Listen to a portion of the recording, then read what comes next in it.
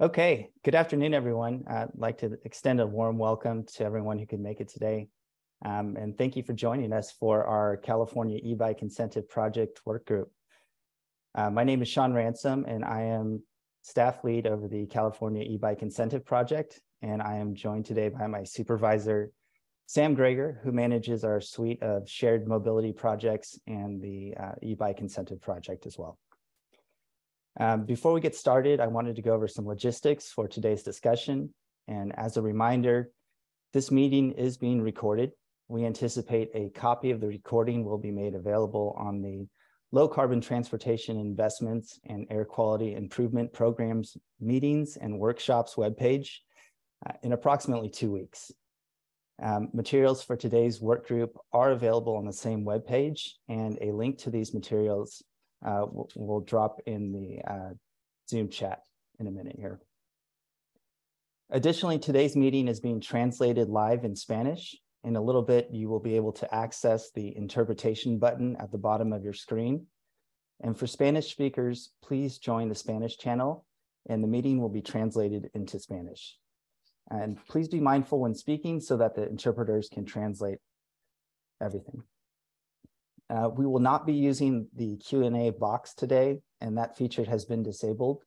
We will be leveraging Zoom's raised hand feature to facilitate comments and questions. And for those comments and questions, please remember to state your name and affiliation when making a comment or asking a question. If there are Zoom disruptions for any reason, including malicious intent, we will immediately end today's meeting and send out another notice to reschedule. And lastly, we are unable to allow anonymous meeting participants for security reasons. Please make sure your name is clear on the Zoom platform. If you have called in, we will adjust your phone number and call on you if you raise your hand based off the last four digits of your number. Uh, I'd now like to pass it over to Marco, our translator, our Spanish translator for today. Thank you, Sean. Just some reminders on how to access the Spanish language channel for those who are attending in Spanish. Para aquellos que nos acompañan en español, queremos dejarles saber que tenemos interpretación al vivo para la sesión de hoy. Y para escuchar el programa en español en breve, aparecerá en la parte inferior de su pantalla un icono con un globo que dice Interpretation o Interpretación. Selecciónelo y de ahí seleccione su idioma Spanish o español. Y de ahí podrá escuchar todo el programa en español. And please note, Uh, for those listening in English, interpretation services are being offered for today's session. To listen to any comments or questions that are given in Spanish, you can do the same. Please select the globe icon that will appear at the bottom of your screen in just a moment that says interpretation, and you can select English. And you'll then be able to hear a live rendering of any comment that comes from Spanish into English. Thank you, Sean. Back to you. Thanks, Marco. Okay, so let's get started.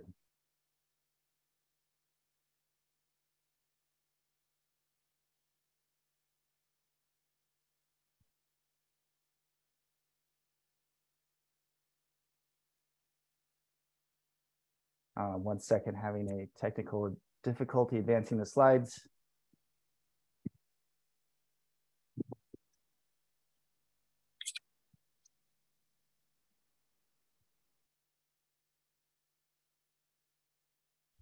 While we're waiting, um, hmm. thank you all for uh, participating today. Um, for those of you that have sent in emails, we've received a high volume of them, um, but we are planning on responding to all of them um, just in time just give us a little time. Thank you.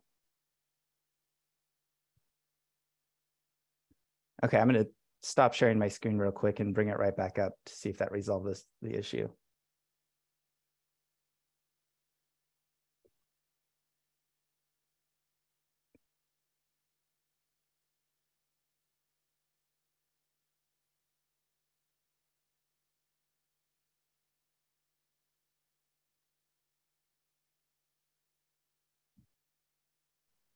Okay, there we go. All right, so the purpose of today's work group is to present and discuss the final proposed project guidelines for the California e-bike incentive project. Um, this webinar is the final work group of a series that started in 2022. And the guidelines presented today are based off of feedback from the general public and stakeholders And today we'll go over the final proposed eligibility criteria for applicants, e-bikes, retailers, and funding. And also comments from today's work group will be considered before finalizing the program.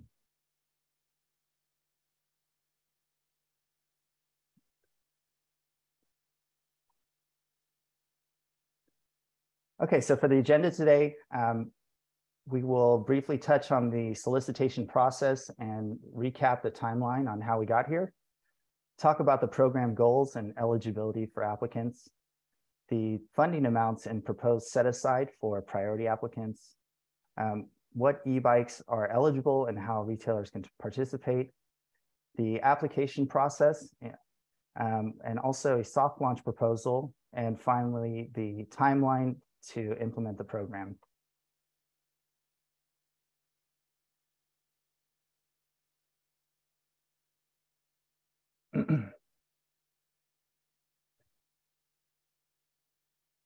So what is the California e-bike incentive project? Um, it's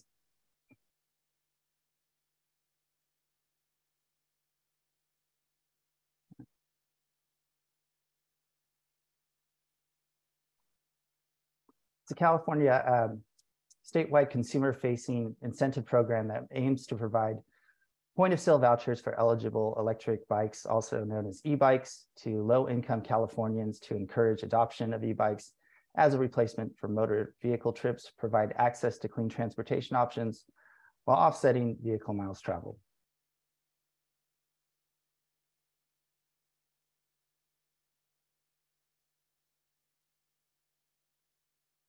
and a little bit of the background on how we got here. The, uh, the e-bike incentive project was established by CARB in November 2021, and we've held three public work groups on solicitation development and three on the program implementation. We launched the competitive solicitation for administrator in April 2022 and announced the winner in August 2022. Um, the grant has been signed by the grantee, Pedal Ahead, and they begin work on December 1st, 2022. And we are still aiming to launch the consumer facing program around the second quarter of 2023.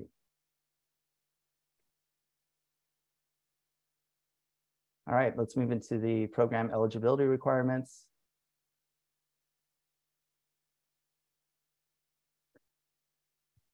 So to be eligible for the vouchers through the e-bike program, uh, we are proposing that eligibility, eligibility uh, requirements be for California residents who are 18 or older um, and have a gross annual household income uh, that is less than 300% of the po federal poverty level, or also known as FPL. And additionally, only one incentive is available for individuals.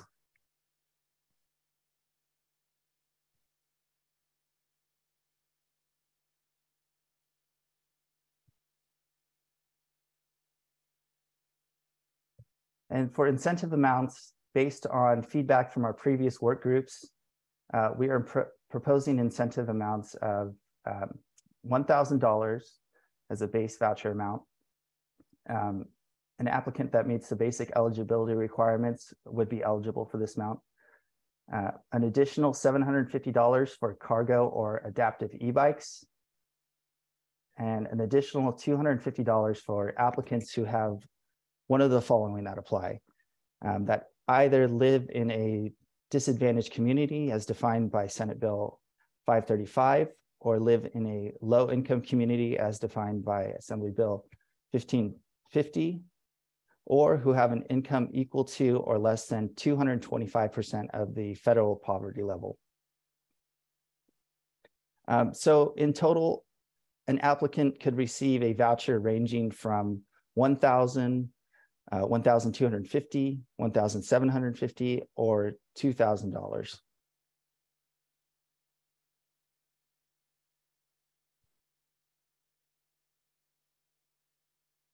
And so here we have the most recent income thresholds for 2023 based off of household size. Uh, so for example, for a household of one, the applicant would need to make uh, $43,740 or less to be eligible for the voucher. Um, or for example, a household of four, the income would need to be $90,000 or less. Um, and I will note that these slides will be posted. And for more information on the income thresholds, uh, you can please visit the office of the Assistant Secretary for Planning and Evaluation in the link below.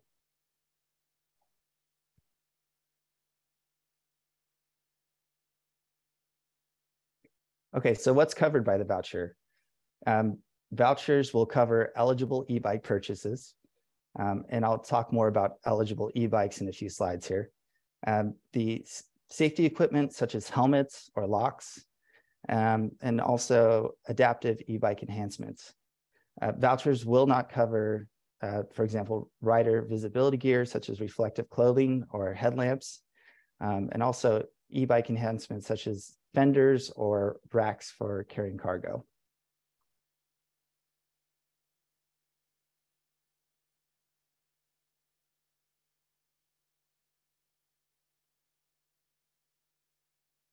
Okay, so moving on to program funding.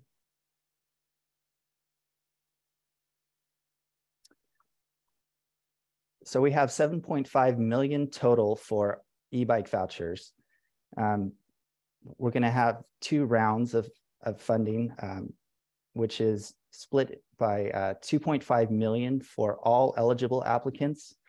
This includes uh, the basic eligibility applicants who meet the 300% federal poverty level and priority applicants, um, which I'll talk about in a few slides here. Uh, once that is reserved or exhausted, then uh, the remaining 5 million set aside will be only for priority applicants. Um, and I'll show that in the next slide. I'll also note uh, we, we, don't have a time limit for the funds, so it's all dependent on how quickly the funds are reserved.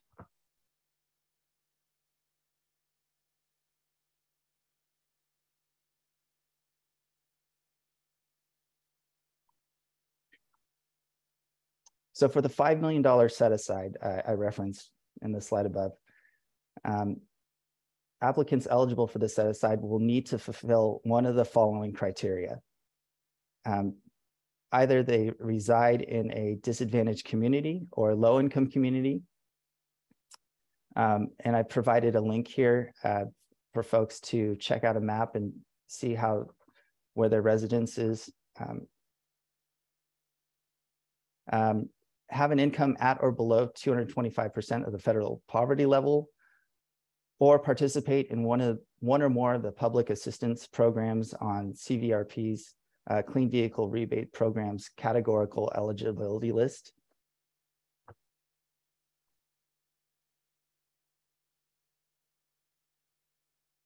Examples of those are uh, Section 8 housing or TANF benefits.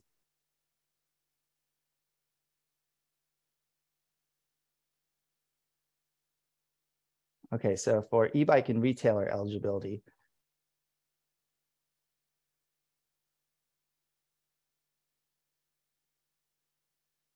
Okay, so we're proposing that um, based on the comments and feedback from previous work groups, uh, we're proposing that uh, all of the three e-bike classes as defined by AB uh, 1096 and those definitions are class one, limited to a top speed of 20 miles per hour with pedal assist only.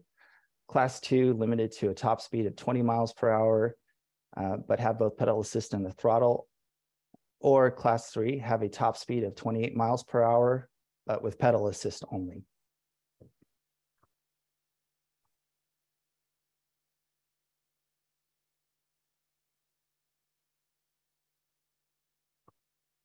So in addition, in addition to the classes of e-bikes, we're also proposing that the e-bikes uh, must have integrated front and rear lights and must be fully assembled upon delivery, whether that's through the bike shop or a um, another service that does does that. Um, minimum one year manufacturer warranty on electric components. This could include the battery, the motor, or the display on the e-bike, to name a few. And then examples of non-eligible e-bikes, um, used e-bikes, conversion kits such as hub motors or mid drives, um, or e-bikes outside of the three class system. Um, full suspension mountain bike, e-bikes, uh, and scooters and mo mopeds would not be eligible.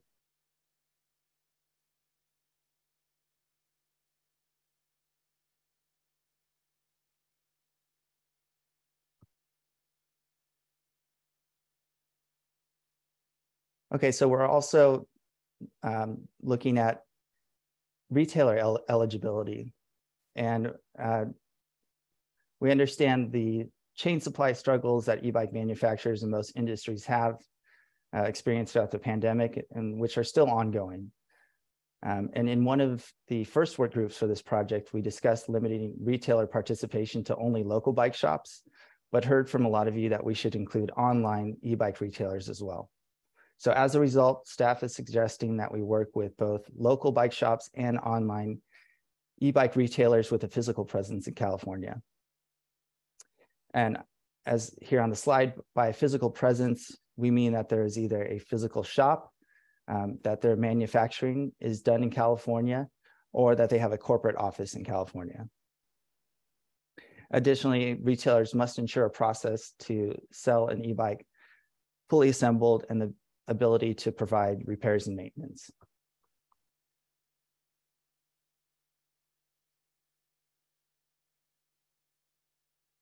Okay, so with that, we'll take a couple uh, comments and questions. Uh, I would remind everyone to please use the raise hand function or number two if you're calling in by phone and to please state your name and affiliation before asking a question or making a comment. All right, Sean, I'll uh, open it up to, and if I mispronounce your name, I apologize. Um, Danilo Lontok. Um, you um, now are able to unmute your phone or your computer.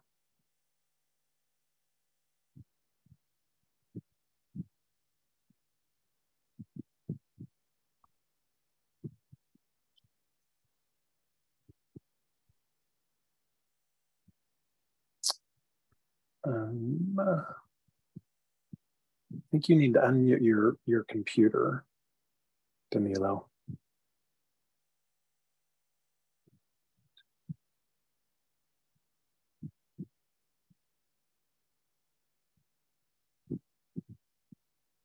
Okay.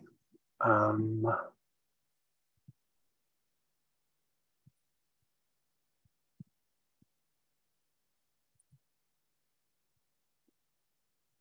we will come back to that person. Okay, next we'll go to Sal Lycan. Hi, everybody. Uh, this is Saul Lakin. I'm with Specialized Bicycle Components. We're headquartered in Morgan Hill, California, and we're one of the leading brands and manufacturers of bicycles uh, in the world. Uh, I've got a few comments and questions uh, a number of slides. I'll try not to take too long. Um, first one on slide seven, talking about the income requirements. Um, I, have said this before in these meetings. I'm, I'm concerned uh, at the the 300% uh, of the federal poverty level. I just compare it to the clean vehicle rebate program, uh, which is at 135k for a single person. Uh, in order to reach that level of income under this program, it'd have to be a family of seven. uh, so I'm I, am i am concerned. One, at just general eligibility, and two, at the message it sends that we're we're so much more incentivizing uh, complete, you know, electric cars and vehicles than than electric bicycles um, at this level.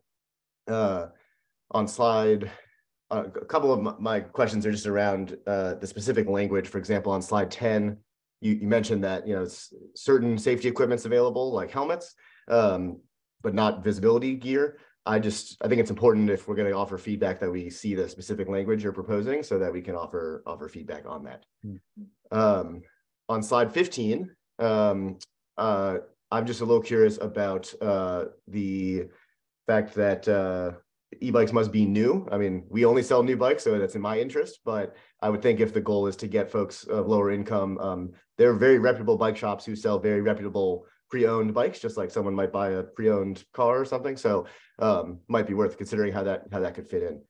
Um, on slide 16, similar question about specific language on the assembly. I, I think that'll be important to review. Mm-hmm. And I just want to offer a comment that um, you says no full suspension bikes. I, am sure that's intended to make it so people aren't buying like recreational mountain bikes under this program and that they're used for transportation. I definitely support that general idea. I just want to say that there's a, a new trend known as SUV e-bikes where they do have full suspension, but they are made for commuting purposes. So um, again, thinking, looking at that specific language, you might want to take that into account.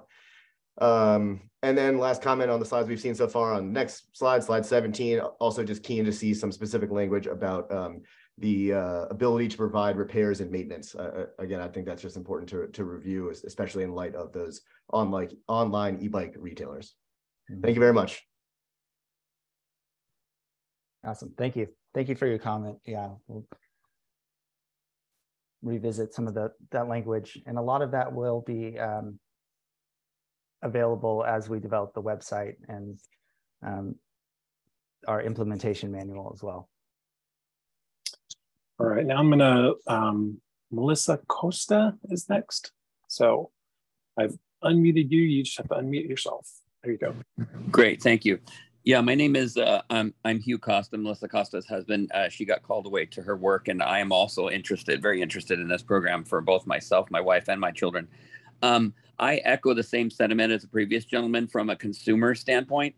Is that, um, for instance, all sorts of areas in California, Sonora, all kinds of areas. It would be in commuters' best interest in a lot of areas of California. We are not a flat state. This isn't, you know, uh, Santa Fe and that kind of thing. Um, and full suspension, uh, to his point, has become absolutely common now. Uh, at least front suspension, full suspension is becoming more and more prevalent. So really changing that, uh, as long as it, it is a commuter bike, which is your goal, I do understand that. But being more flexible on the full suspension, I think, would be gigantic for this.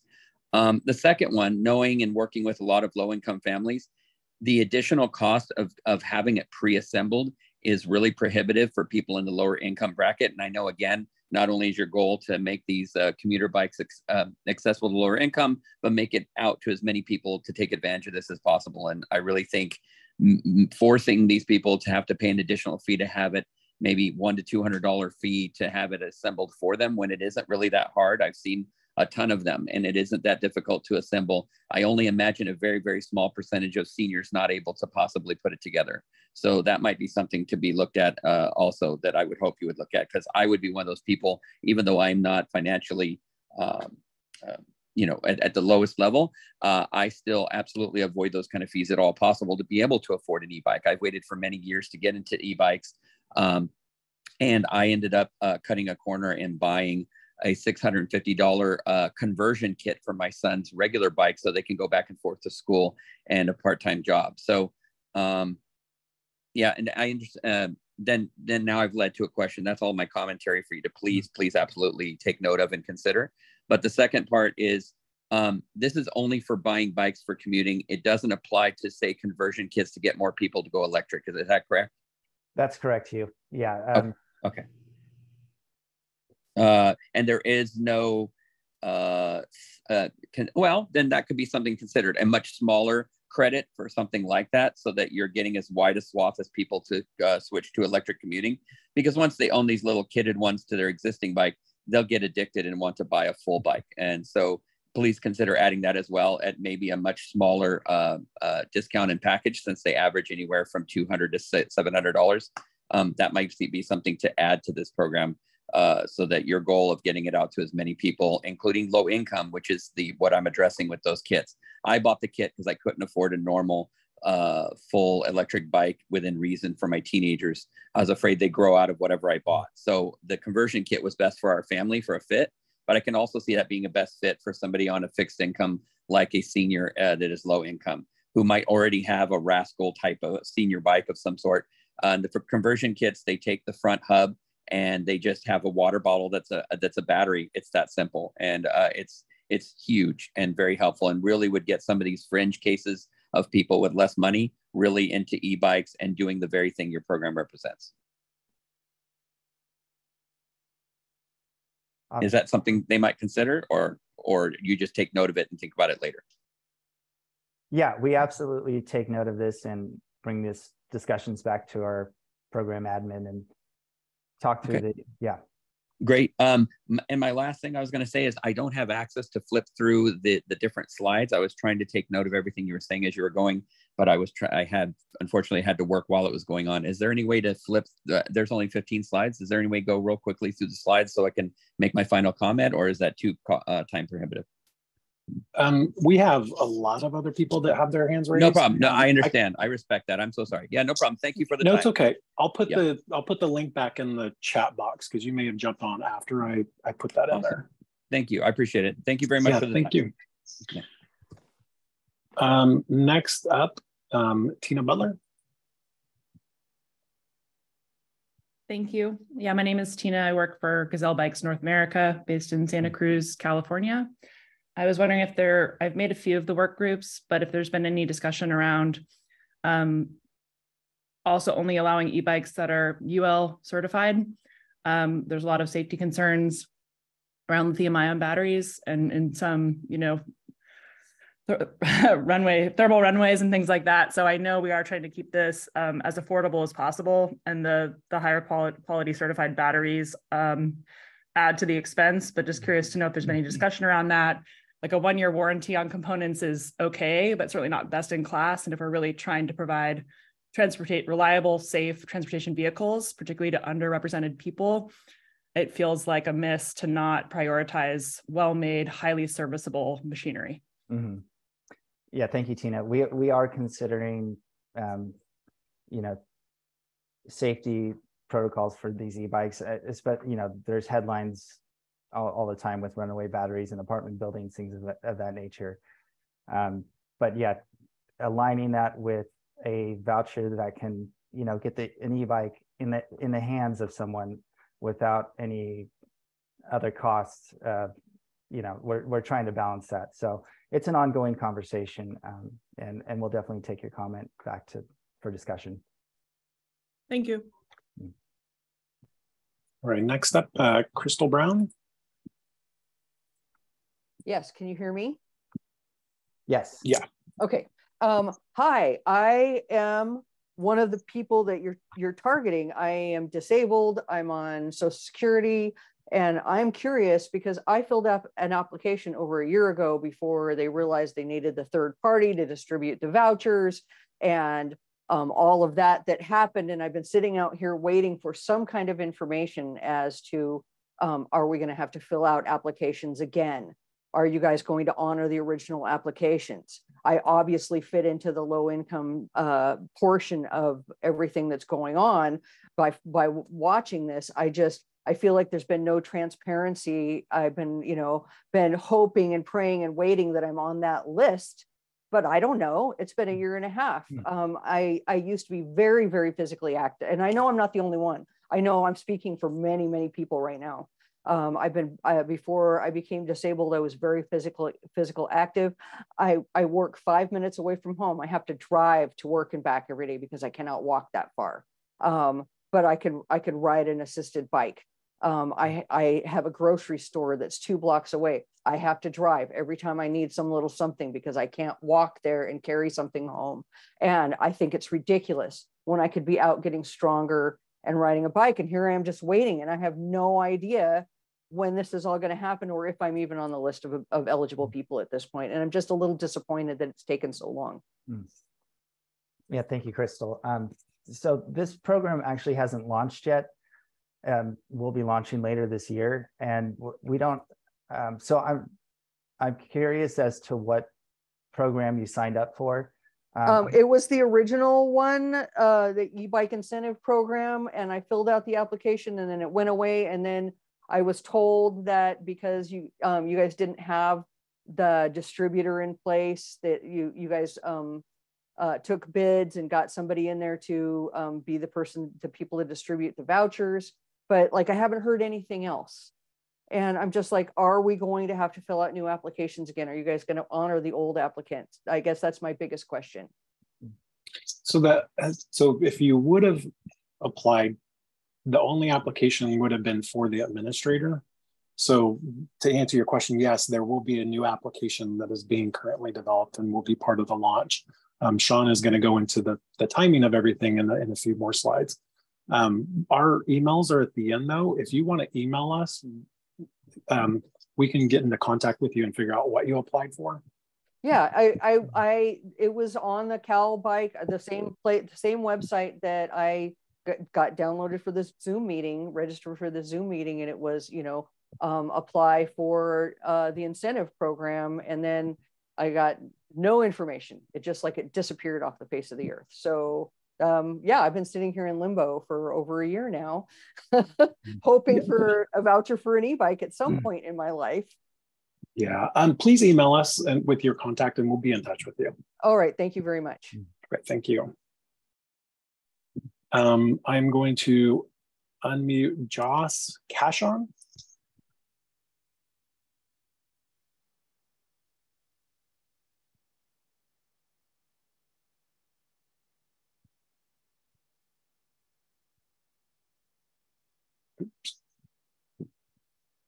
Okay, I think I unmuted you and then muted you, but you're unmuted again. There you go, mic check.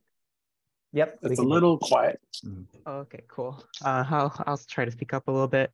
Um, yeah, my, my name's Joss. I, am also uh, probably one of the people y'all are trying to target with the program. Um, I, I live in Los Angeles. I'm a student, uh, partially disabled, low income.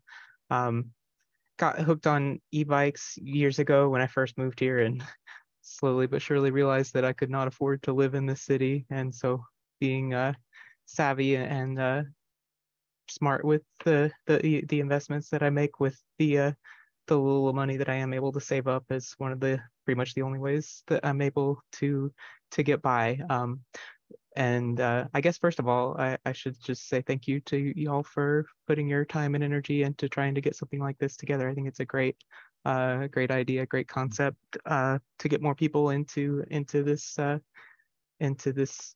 I don't want to call it a, a, a hobby, I guess, just uh, you know, a method, a mode of transportation. Um, but I, I guess um, what I mainly want to echo is just uh, the the sentiment expressed a, a, few callers ago, just about the um, the requirement that the the bike be assembled. I think um, you know, uh, I've been kind of getting the getting familiar with what's available on the market for the last few months since I found out that this incentive was in the pipeline, and uh, it seems like most of the uh, most of, of the stuff that's available that's within my price range is stuff that is not going to come assembled. Seems like most of the more affordable bike companies uh, that are on the market are doing uh, direct consumer, like partially assembled, and you know you gotta put a wheel on or straighten the the the the handlebars or whatever. You know, it's a very minimal amount of assembly, and I I will agree it's um it's pretty simple to put these bikes together, and then you know uh maybe half an hour or an hour of your time, and you've saved a hundred plus dollars. So to me, that's a, a no brainer to save a little bit of money like that.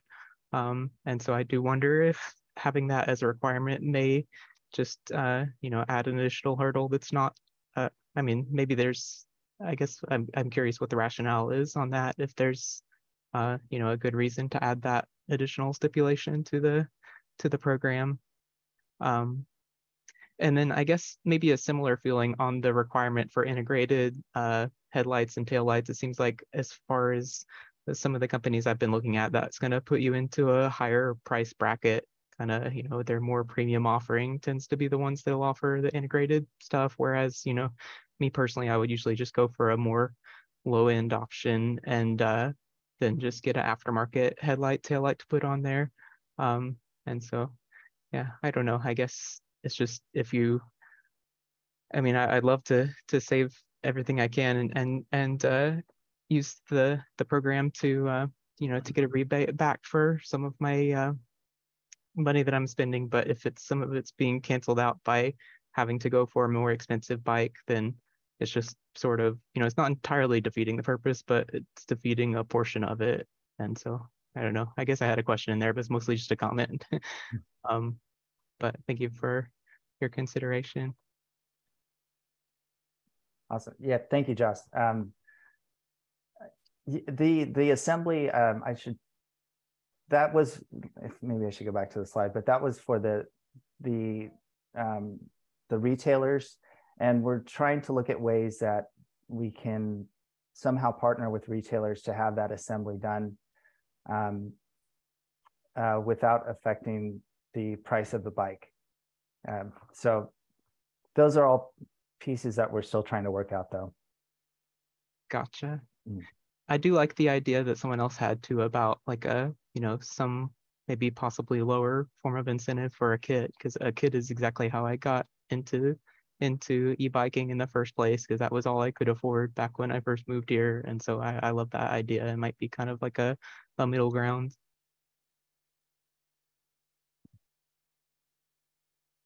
Yeah. Okay.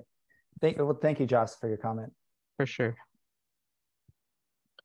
All right. Now I'm gonna. We've got 27 raised hands. Um, so we'll take a couple of more, but I want Sean to be able to get through the rest of this presentation, which is just a few more slides. Um, but I'll unmute Kyle Chittock. Hi, I'm Kyle Chittock, uh, owner of Area 13, a e-bike company, and I have a big YouTube channel about electric bikes as well. Um, I think some of it was just uh, clarification items. Um, some were already mentioned. Uh, one that I didn't see pointed out yet um, was racks and fenders.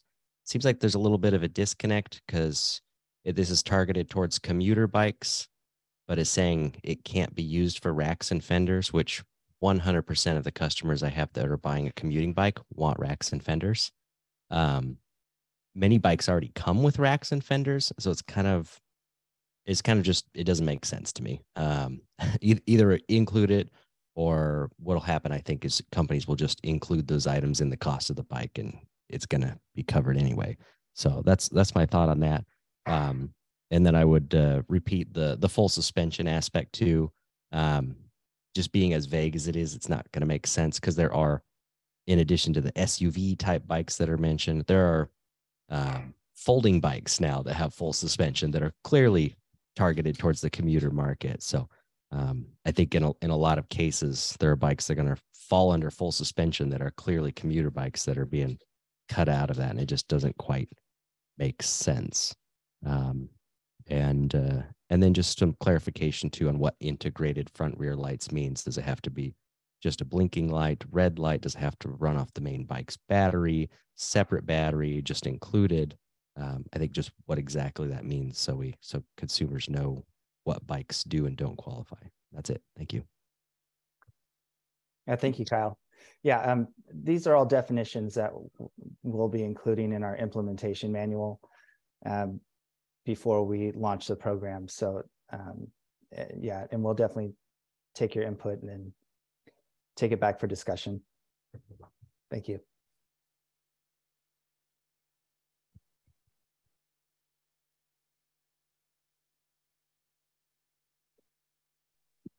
All right. Um, next is Lucinda Young. Uh, yes, I'm a, a longtime bike commuter and um, interested in getting an e-bike as I am getting older and uh, the hills in the San Francisco Bay Area are getting tougher for me to um, make it up uh, without uh, an, an, electric bike. Um, so I've been um, interested, first of all, in timing. There hasn't been anything discussed yet about timing. You know, I've been following this for quite some time now. And initially I thought things were the rebates were going to be available in the first quarter and now i'm hearing second and then it was changed to second quarter so i'd like to get an update on timing and i'm wondering if the powerpoint also is going to be made available since there's some great information on here and i didn't have a chance to jot it all down um, i want to echo the concern expressed by the first speaker about the disparity in the income requirements for electric vehicles uh, versus the the rebates for for bike rebates. I mean, the electric vehicle uh, tax credits are, you know, I think it's under 300,000 for a married couple. I mean, huge disparity.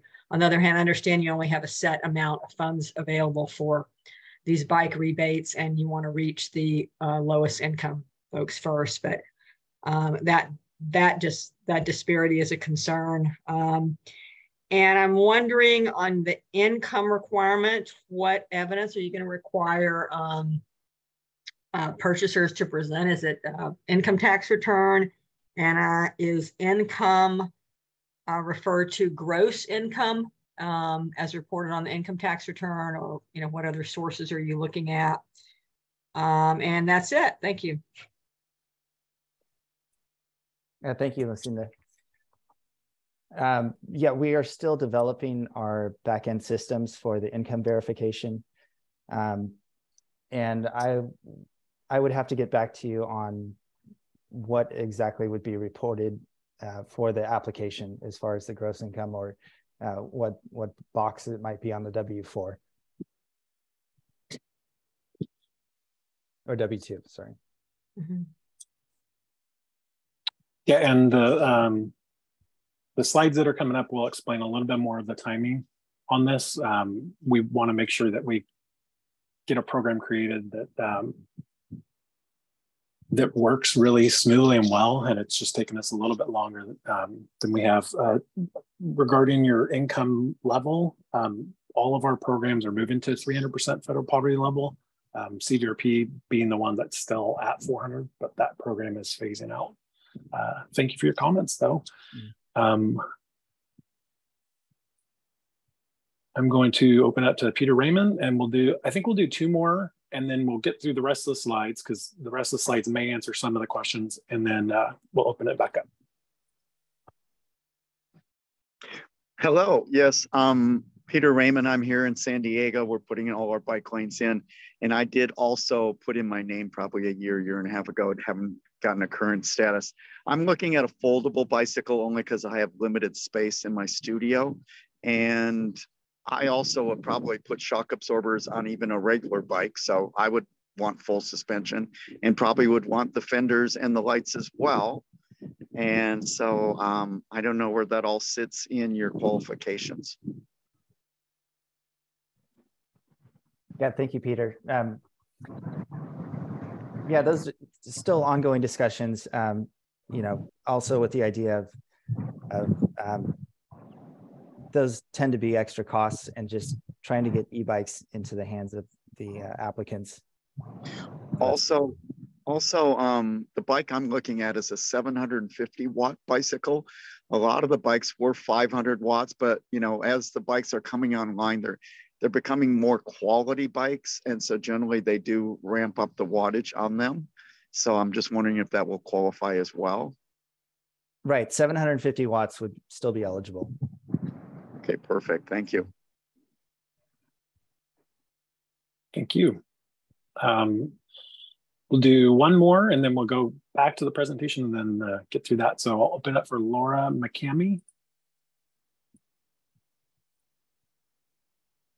Actually, can you put me back in the queue? Because I have questions about both halves and I can just ask them all after you oh, do sure. the second half. Yeah. Okay.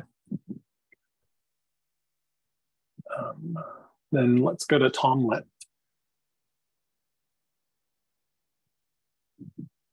Hello, this is Tom Lent. I'm e-bike project coordinator for Walk Bike Berkeley.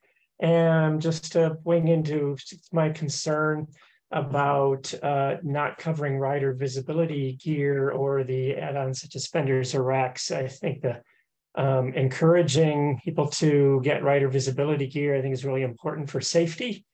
Um, and allowing the addition, as a previous caller noted, of um, fenders and racks to make bikes. What we wanted, I think, is not just to get e-bikes in people's hands, but to get functional e-bikes that will replace cars. And so particularly particularly racks are really important for that. Without with without a rack, you're limited to what you can uncomfortably carry on your back. With a rack, you can take a couple of grocery bags, you know, rack in a couple of panniers, you can take a couple of grocery bags of, um, of groceries from the store and, and it becomes a real functional, um, functional bike for more than recreation for real, um, you know, for real errand running. And uh, that's going to be a critical critical to get people to take e-bikes seriously. So I encourage you to, to be encouraging that. That's all for now. Thanks. Thank you. Thank you. All right, Sean, do you want to run through the last six slides and then we'll open it back up? Sounds good.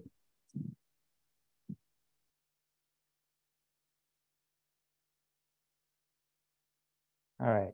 And I think these next slides will answer, you know, help answer some of the questions we had in that last Q&A session too.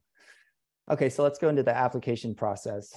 Um, so the, the application, application process will be online through uh, our program website. And uh, I would note that the website that we have on the slide here is not yet up and running. Um, it's just a domain name that we've reserved so far. Um, and uh, so applicants will need to follow a few, few steps to receive the uh, voucher approval. Um, so step one would, would be to go to our program website, ebikeincentives.org. Uh, step two, create a login and apply online. Um, and you would be prompted to supply your previous tax return and identification in this step. Uh, various forms of identification are allowable, such as a California driver's license, California AB 60 license, or California ID card. And additional information may be required if the um, addresses don't match across the documents. Uh, step three would be to find an e-bike uh, and dealer through the program website to purchase the e-bike. And these will be approved e-bikes and approved retailers uh, that we're going to do a process through for the, the website. Uh, step four would be to complete the e-bike safety and um, environmental awareness training. Um, and this would cover uh, things like um, road safety, um, route planning, um, or you know, uh, visibility. Step five, once approved, you'll receive uh, your voucher through email.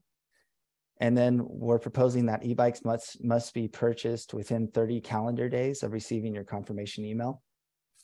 Uh, and then once you have your voucher, uh, you can redeem your voucher at a, um, uh, and this is redeemed at the point of sale. So the voucher amount will be subtracted from the total sales price.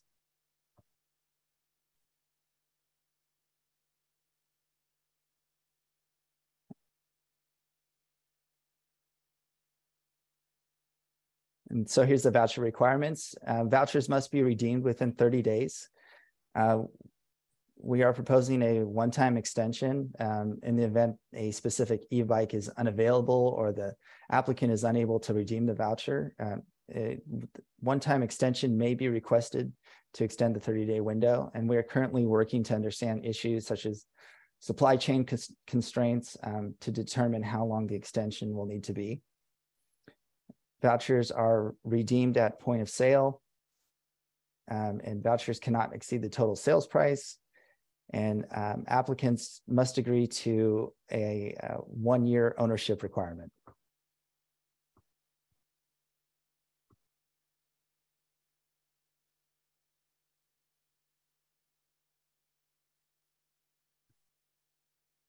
And so in, in ramping up all of our uh, program implementation uh, we're looking at a soft launch in late Q2 of this year. Um, and so here is the soft launch criteria we're proposing. Um, and this soft launch would be to test our systems, our application portal, our process, and, and networking with retailers before our main launch. And carbon collaboration with Pedal Ahead um, we're looking at uh, these four communities for our soft launch, um, Barrio Logan in San Diego, Fresno, California, Bayview, Hunters Point, San Francisco, and working with California Native tribal governments.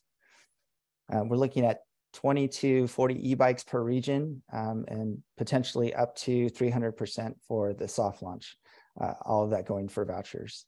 And again, aiming to launch in Q2 of uh, this year.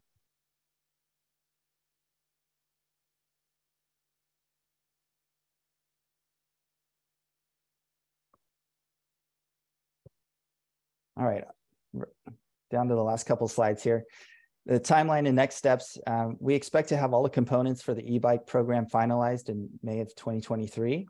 And once we have incorporated final feedback and finished developing the website, application portal, and materials, uh, we will begin outreach for the soft launch. After the soft launch, uh, staff and program admin will assess any issues and provided all goes smoothly, we will launch the program statewide in Q3 of 2023.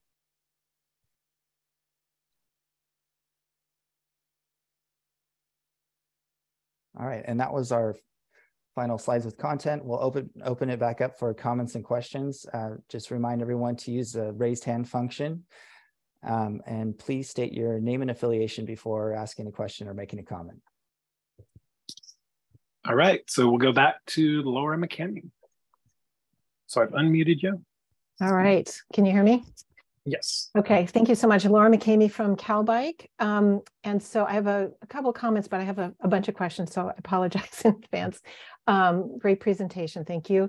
I want to start by saying I understand that um, this program can't be all things to all people, and there's been a lot of great suggestions, but this is a very small amount of money for the whole state of California, and um, CalBike supports the 300% uh, federal poverty level limitation. Um, and the class one, two, and three e-bikes, um, you know, keeping it to new e-bikes for now. And hopefully we can all keep notes on this and in future years, there'll be a more robust funding and the program can be more expansive.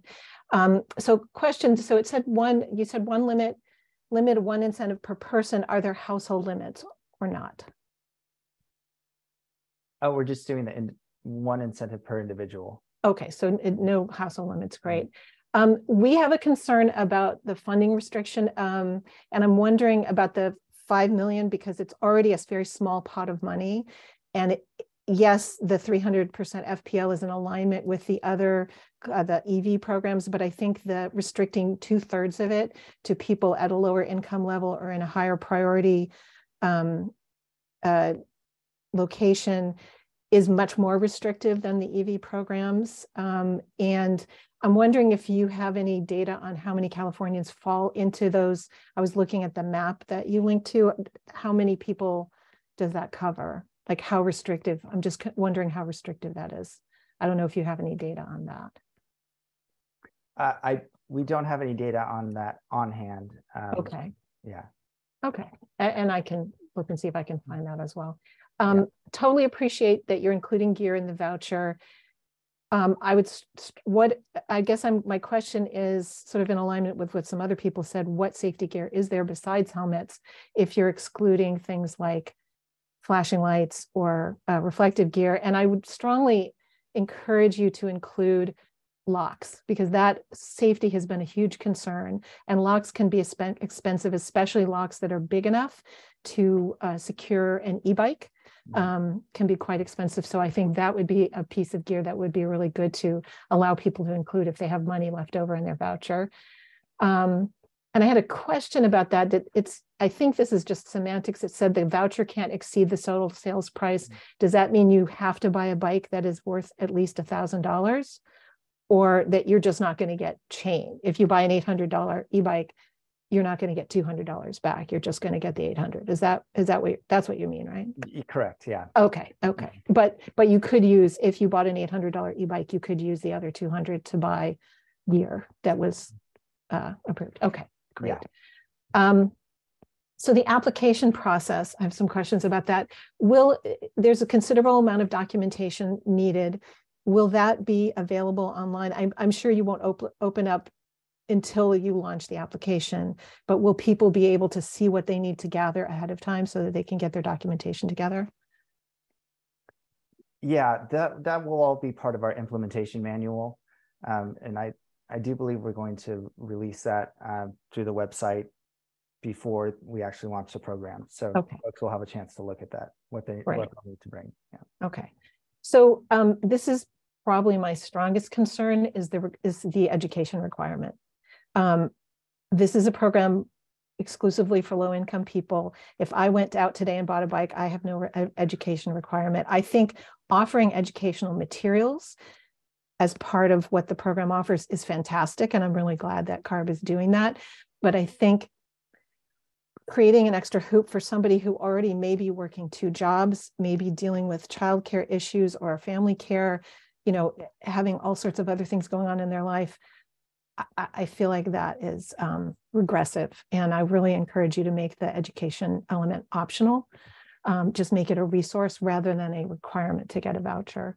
Um, 30 days to redeem a voucher, not enough time. I bought an e-bike. It took me, I knew what bike I wanted. It took me way more than 30 days. And it wasn't about supply chain issues. It's just a big purchase decision from talking to um, people running other e-bike programs um, that are similar to this. They had a pretty high rate of people not redeeming the vouchers and some of it was because they couldn't find a suitable uh, bike and i think the initial window should be at least 90 days uh, at a minimum um, it, it's a big purchase. And again, people are busy. They have busy lives. They have work. They have kids. It may take them a while to have the time to find the bike that they want. Um, and um, questions about the soft launch, and if this is too much to answer online, these are my last questions. Um, how are the regions chosen? Are there are, are there uh, local CBOs in each region that that you're working with? Is that is that how that's working, or yeah, I'll take this one. Um, yeah, there there are communities um, that have historically not received funding or enough funding from us, and so um, we do have community-based organizations in those in those regions that we have contacted or are going to contact to um, to to help us with the soft launch. Um, but they were just selected with an internal conversation. Okay, and so the, us. And so the 20 to 40 per region, so across all of the California Native tribal governments, just 20 to 40 e-bikes? This is just for the soft launch. So the soft launch is really supposed to help us understand um, what's working and what isn't mm-hmm. working with the application process, income verification, um, the dealership mm-hmm. network, um, the training that you mentioned. You know, does it is it helping? Is it not helping? Um, and the purchasing and voucher redemption process. Okay, so it's it's like a data collection opportunity for you as well. Yeah, okay. yeah. We've we've learned in the past when we open programs up, you know, fully before testing it out, um, there are usually a lot of issues and errors and things that we could have fixed had we done a soft launch. So we're hoping to avoid that when we open it up statewide. Okay, great. Thank you for that clarification. All right, that was all my mm-hmm. questions. Thank you. Thank you and hopefully I didn't respond too fast. Um, all right, Allison Holden, I've unmuted your phone. Hi, good evening, good afternoon. Hi, my name is Allison Holden. Can you hear me? Yep. Wonderful. Uh, I am a disabled senior here in California, and I'm really super excited about this. I've been listening to multiple people talk about um, the comparison to the EV program I think that there's absolutely no comparison because anyone who can afford to buy an EV with insurance and all the things that come with it, it is just not a non sequitur into this program. Um, I hope that when you consider launching into other areas, that you consider the areas that very low income people live in that we don't always live in the city um, I live in a mobile home park near Palm Springs that's literally four and a half miles to butter or milk.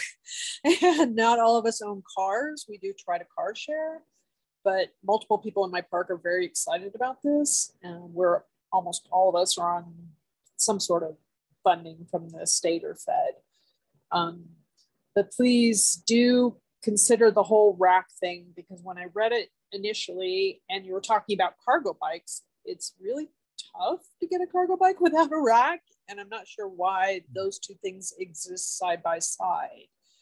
Um, because again, like the other gentleman had mentioned, for us to be able to get things from the store and back, we need some sort of rack basket, whatever that entails. Um, so thank you for this. And I know we're all really excited. And it, the I wanted to mention, sorry, one more thing. Um, I wanted to mention about the paperwork. It is really imperative for somebody like me who's on Social Security and things like that. It takes us a while to get that paperwork from the feds and from the state. And so we want to make sure that we don't miss it. So make sure those things are labeled up front so people have time and don't miss out on the application process. Thank you. Thank you, Laura. All right. Next, um, David Reinerson. I've unmuted your phone. Hi there. Um, Dave Reinerson from Huntington Beach. Um, and I'm going to second some of the comments that you, you've heard before. I think um, understanding you have limited funding, I understand having the restriction to three uh, FPL at, at, this point in time, but I do think uh, with the objective being to to reduce emissions, when you get more funding, you need to expand that. Um, second, I think the, the discussions about fenders and racks and suspension are, are all on the mark, particularly if, if the objective is to reduce car trips. Um, I, I, if you're going to do grocery shopping on a bike, you, you need a rack or you need panniers or something of that nature. And since you're specifically giving an, an incentive for a cargo bike, um, then you should actually also allow uh, racks on, on bikes. Um, Third, I think, um, particularly since you're saying you are allowing um, direct to consumer sales, I have not seen a single direct to consumer bike that comes fully assembled. It's virtually impossible. It's going to come in a in a box with probably with the wheels detached and the handlebars either turned sideways or detached. So there's going to be some amount of assembly that has to be done. I don't think that should be a disqualifier. Um, Third, um, you know, integrated lights, I think is going to, as was previously mentioned, well, I think it's a good idea. I think it also is going to push you up into higher or more expensive bikes. And, and lastly, I think the idea of allowing conversion kits is good because if somebody already has a bike and, and a conversion kit can be adapted to it quickly and easily, that has two, two things. It also um, it makes it accessible to more people, and it also makes your funding go farther. So those are my comments. Thank you very much. Yeah, thank you, David. Okay, next up, uh, Nicole Burgess. Hi, Sam, and I believe Sean. Thank you. My name is Nicole Burgess. Um, I am down in San Diego with Bike SD, Bike Coalition. I'm an LCI instructor uh, and support Vision Zero safety in, in San Diego and meeting all our goals in transportation. Um, I want to just say thank you. I know a couple people have commented about lights, but I thank you for the language of integrated lights. Um, lights to me are 24 seven. So these bikes we've heard it's about transportation and replacing the car. So we need all those things that everybody talked about um, but integrated lights is just pure safety. So we wouldn't sell a car without lights. So I appreciate you changing the language to integrated. Um, as a as an e-bike owner and um, discussion with a lot of businesses, it's not that expensive to actually add the lights. So we can get them. We can get these e-bikes, assemb- you know, assembling of bikes that should be changed. Um, we've heard that full expansion should be included. Uh, racks and locks and repairs and maintenance, all that stuff is so important when we talk about, you know, using this for transportation, especially for these low income new riders. So um, really the safety is my main concern for them. And so I really want to know what the reasoning is to allow class three. So uh, 20, 20 is a, I just had a, a friend crash on Saturday night and it only goes to 20. So when we expand it to 28, we, are just putting our riders, our new riders, our, our riders that have never been on a bike, our low income folks to, to just perhaps get a bike that's too fast. Um, I'm not a fan of that, especially when we're trying to create safer streets uh, and advocate for slower speeds. I mean, when you put 28, I mean, that's just a lot of our bike boulevards. 20 is plenty. And for the safety of riders, I'd love to know the explanation of why we are including class three, except for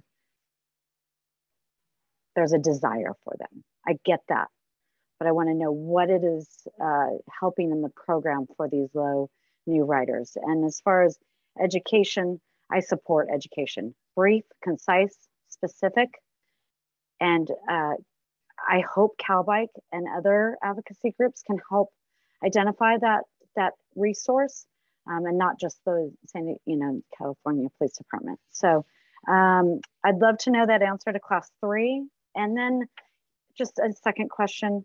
Um, it's a $13 million program and to only hear seven and a half million is going to e-bikes, that's, that's sad. So I'd love a little explanation of where five and a half million is gonna go. I can kind of understand what the answer is going to be, but uh, if you could help me understand a little better, that would be great. So just those two questions, please. Hi, Nicole. Um, my name is Lisa McCumber. I'm the manager. Uh, Hi, Lisa. Hi, the chief over the Equitable Mobility Incentives Branch. And I've been working on this program and with the, uh, the two different teams now that have ran it over the course of the last year. And just to give you some background, some history on why we ended up ultimately recommending keeping class or including class three in this. Um, we've we've been having we've had a public process for this program for over a year now, and we like today, um, you know, couple dozen handful of comments, uh, every single work group, very passionate, and we really we really love working with this group of individuals uh, and the passion that you all bring on the e-bike topic. Um, but we have a, a, lot of balancing to do in that. I think somebody said it earlier. We can't, with this program, given the amount of money, do everything for everybody. But we heard a ton, just an incredible amount of feedback early on in the process when we weren't including class three that for real potential VMD, VMT um, reduction, we those bikers that are those that are going to use these bikes instead of using their car, many of them will move towards the class three. And that if we aren't including them, then kind of what's the point of the program? And this was debated and talked about kind of at length at many of our earlier meetings.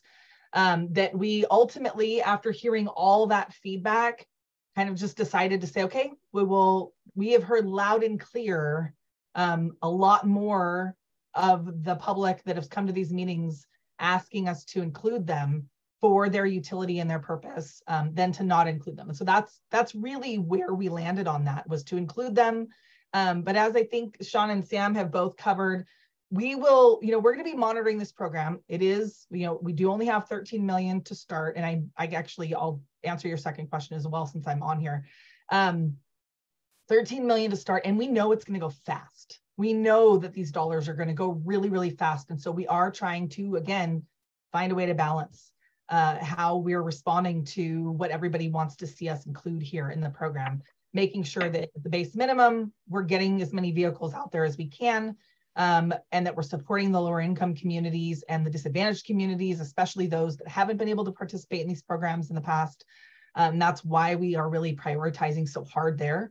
Um, but it is going to be a limited program nonetheless. And we're going to learn from this first batch of funding and it may be that if we get new funding coming out, maybe we don't include class three going forward because we've learned that that isn't the right way to go. But at this point, I think the feedback that we've gotten is that that's really kind of critical to some of the core things we're hoping to get at with the program. Um, for your second question on funding, there will be funding from the 3 million, that secondary pot. So we had 10 million, okay. 3 million. There will be funding from the 3 million that goes to the vehicles um, there absolutely will be. That whole amount isn't going towards running the program at all. Uh, we haven't put it in the grant yet.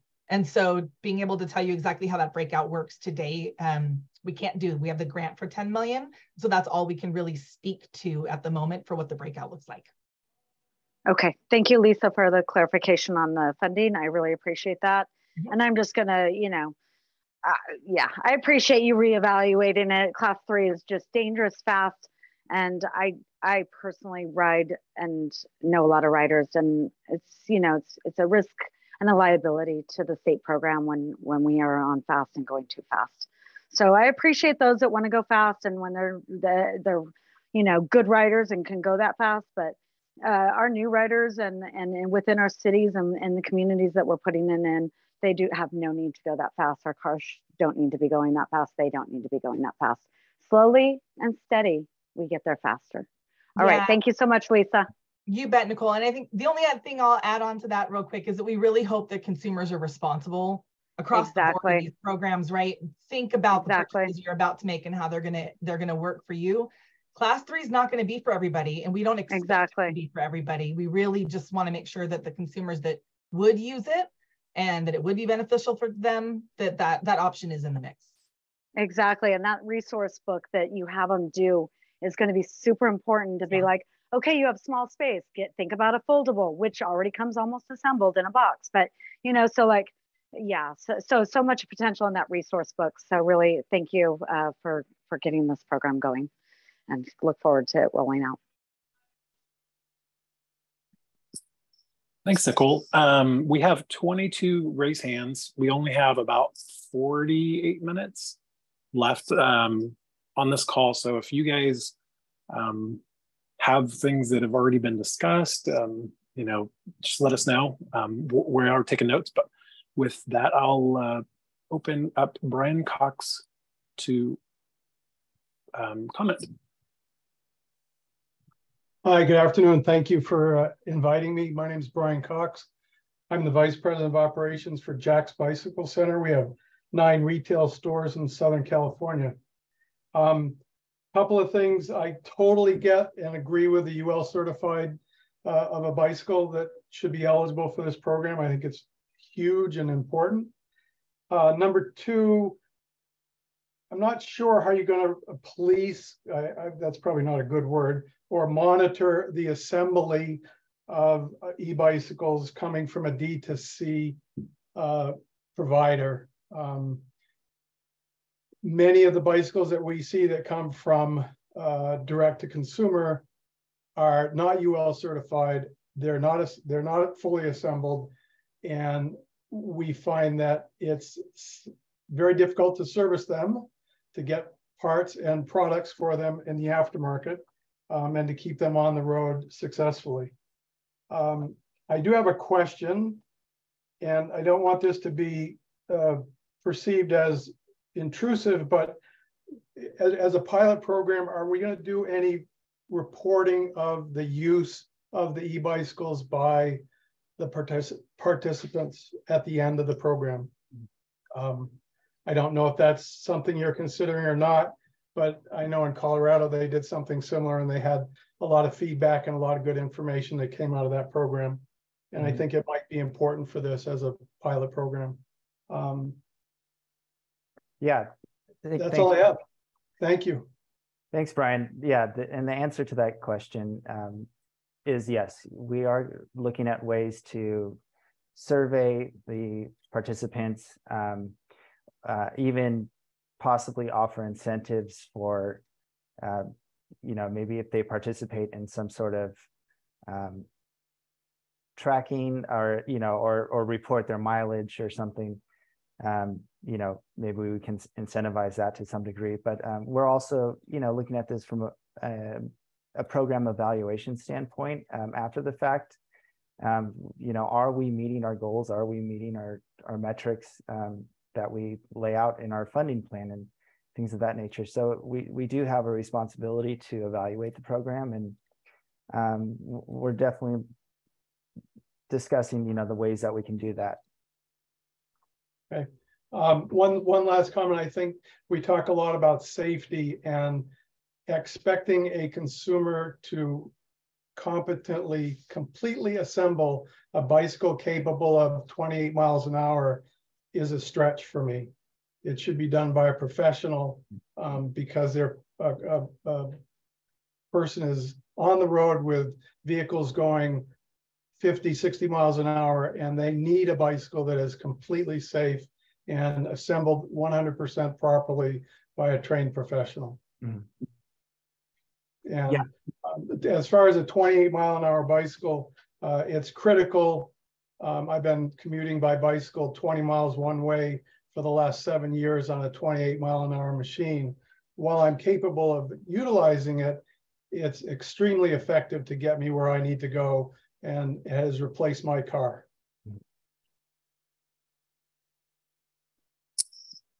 Great, thank you. Um, I'm going to open it up to LaDonna Williams. Yes, good afternoon, LaDonna Williams with All Positives Possible. Many of the questions that I had uh, have pretty much been covered by the previous speakers, but I did um, want to ask about the uh, adaptive bike enhancements. Uh, since it shows what you don't cover with the fenders and racks under that adaptive uh, enhancements that you do cover, you didn't list them in there. And so was it listed somewhere else where we could read up on that. Um, and particularly, we're concerned for the um, disabled population that we serve. Um, those racks are very essential for them.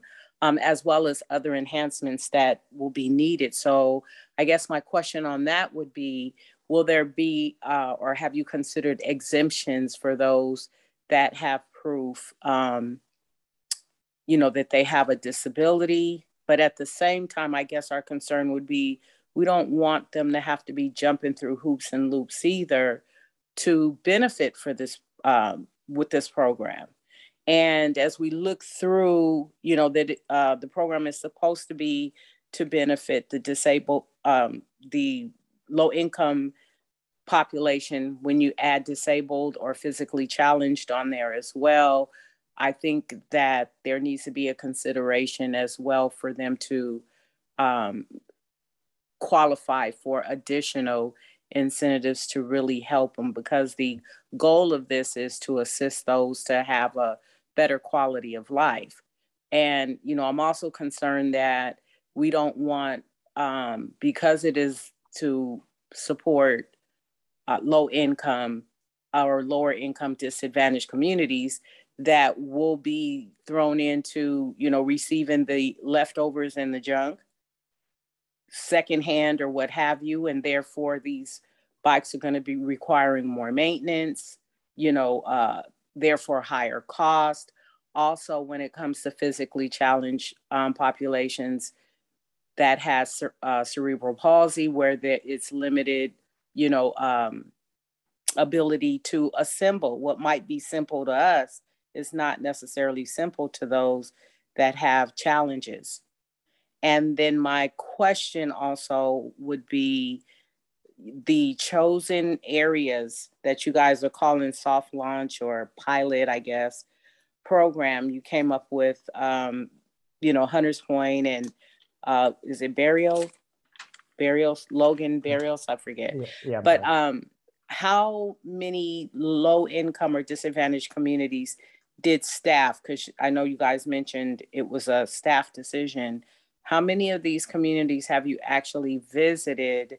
We know you've been to Hunters Point and Barrio, but there are other communities that have some huge barriers and food deserts where I think somebody else mentioned on here having to go five or or more miles away just to get to a grocery store. Like what kind of consideration did you guys really put into just um, as opposed to just being familiar with, oh, this is a disadvantaged community or one that you're very familiar with? How much effort was put into identifying those that get overlooked? Sean, do you want to address the uh, adaptive? Yeah, yeah. For the adaptive, um, I was just going to state that those will all be um, well laid out definitions in our implementation manual, well identified, um, and you know, making it clear and concise uh, for anyone who's looking at an adaptive bike and what type of um, enhancements or um, you know uh, modifications that need to be made to it. Okay, you said they will be, so there's no information as of yet. Correct. Yeah. Oh, okay. Okay. Yeah, we're we're listening to all you guys' feedback on on these, so this is all very helpful. And regarding the four communities, um, like I mentioned earlier, uh, how we how we kind of chose them, um, but we are um, definitely cognitive cognizant of those other communities that you mentioned, um, and we're um, working with um, our Access um, Clean California program, which has done extensive outreach to a lot of different communities throughout the state, rural, urban. Hmm. Um, for the state law, statewide launch, we're going to utilize them along with our other stakeholders and other the other people who have participated in the past to ensure that, that we get the outreach to those folks prior to the launch of the statewide program. And see, that's a major concern for me because those programs failed these communities, which is communities that I live in and have lived in and very familiar with. That has been a major complaint that we have is that the uh, access or what is that? Uh, whatever all the programs are that served the e cars missed these communities that should have been included in those programs early on they've been missed. And that's exactly what we don't want to happen here again is repeating the same thing where you've missed the communities that need the support the most. And in that e program, which uh, e cars, which uh, I'm sure you guys may have heard over and over because we've complained about it, was the fact that you have these uh, disadvantaged programs. Yet, when you looked at the numbers and you peel back what percentage actually went to the low income communities, CARB ended up being embarrassed. So you don't want to repeat that same behavior with this program here. Totally and totally appreciate that. And yes, we are trying to learn from um, previous programs where we've had those, um, we've missed those opportunities. So thank you. Thank you. Um, next, James Akas. Have unmuted your phone.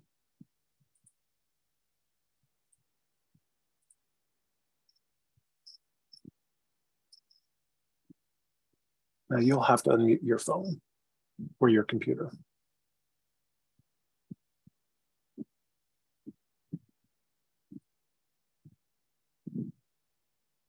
All right, there you go.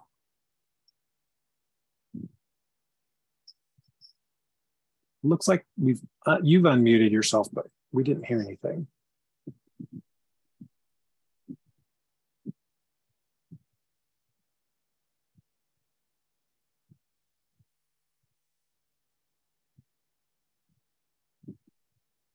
And we're, looks like you're unmuted, but we can't hear anything from you, James.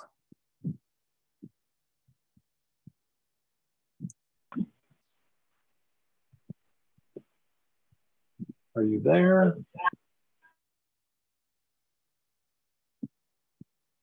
Okay, let's let us, I'll move on to the next speaker and I'll come back to you, James. See if you can figure out um, how to get your phone or your computer to unmute. Um, Ashley Garrity, you're unmuted. Yes. Hi, can you hear me? Yes. Hi, thank you so much. My name is Ashley Garrity with the Greenlining Institute. Um, I just wanted to say first thank you, and um, we're really appreciative of the changes that you've made over the course of the development of this program, and especially for incorporating some of our suggestions for feedback, including uh, changing the set aside and um, prioritizing disadvantaged communities and low income communities. So really appreciate you um, taking that feedback.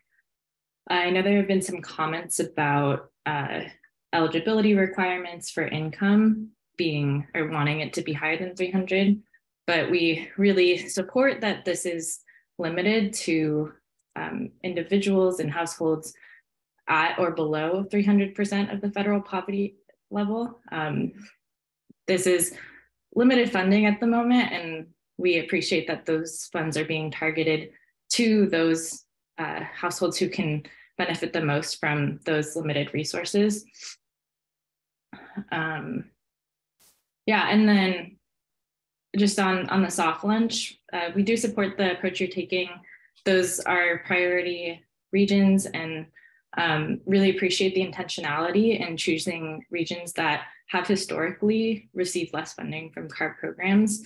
Um, we, we would say if there's a high uptake and a high subscription rate to those, we'd love to see it extended beyond the 20 to 40 per region.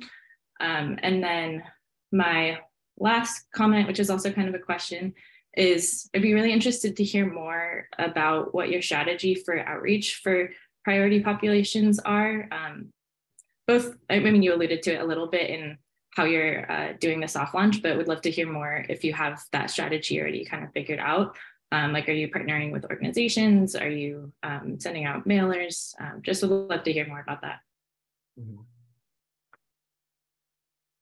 Yeah, and so we are still developing the education and uh, outreach component of this program, but uh, we are partnering with um, Access Clean California, which is, uh, a, I'm not sure if you're familiar or not with this program through CARB, but it essentially um, has a whole network of outreach um, and it brings a lot of our CARB programs together under kind of one umbrella. Um, so within that, we have a large network of CBOs and grassroots organizations that um, we we already have inroads uh, with into a lot of these communities that we'll be able to leverage for this program. Um, but on top of that, we will be also um, doing an outreach campaign through our e-bike program in, ad in addition to that. Um, but more on that to, to come later. Great, thank you so much. All right, thank you. Um, we'll try Jane Aukes again. I've unmuted your line.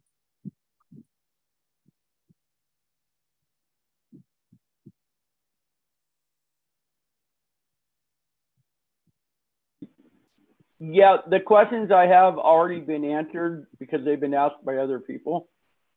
Awesome. I appreciate it. Okay. Well, we can hear you now. So, but uh, appreciate you participating today. Thank you. All right, Brinley Edens. Hello, can you hear me? Yes. Yes. Hi, uh, my name is Brinley, and I am with Happy E-Bikes. Uh, we're an e-bike dealer in the San Diego, North County, San Diego area.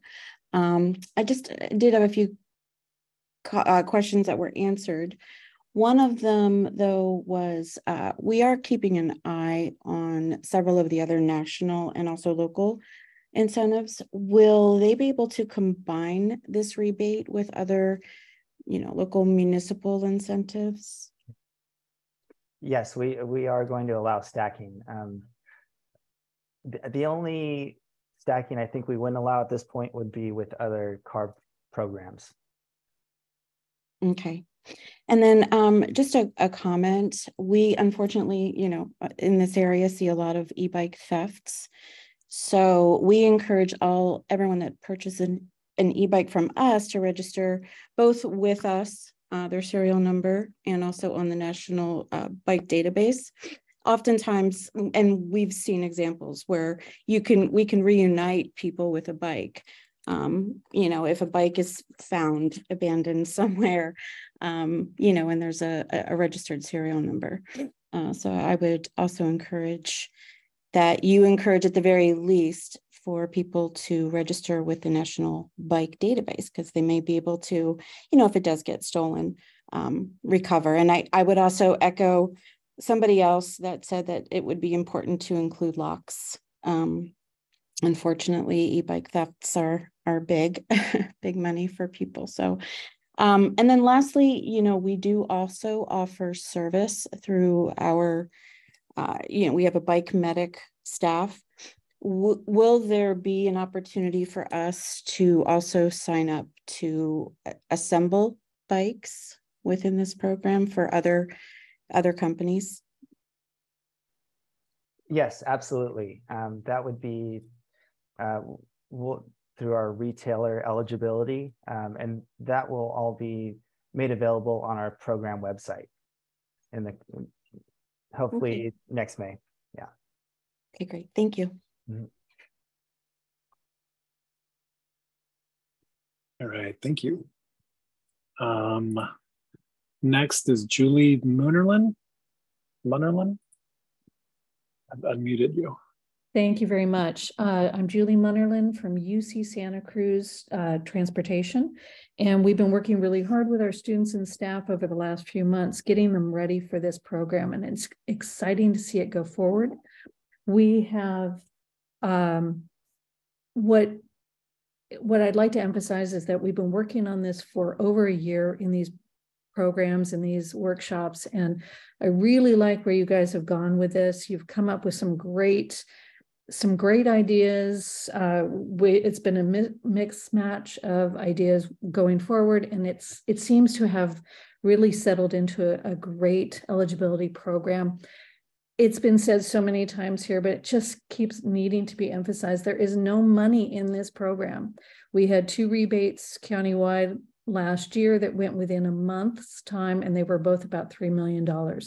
So we have a great amount of disadvantaged people here in community zoning in our area, and I'm very satisfied with that so that we can get to the people who need this. I do not agree that we should put all these amenities into this program, accessories, uh, locks. I love the idea. I mean, it's obvious we need these, but most of the bike shops have zero interest bike loans. And those can be used for a 12 month zero interest program to buy any accessory that anyone deems necessary. I highly encourage CARB or CalBike, who has been a great partner with you all, to work with the bike shops who are participating in this program and who are receiving all those wonderful new clients that they've never had come uh, come together and have an educational part to it be able to register every bike with any city police registry and also talk to the people about the zero interest bike loans that they typically all offer. And i definitely love the idea of the integrated bike lights.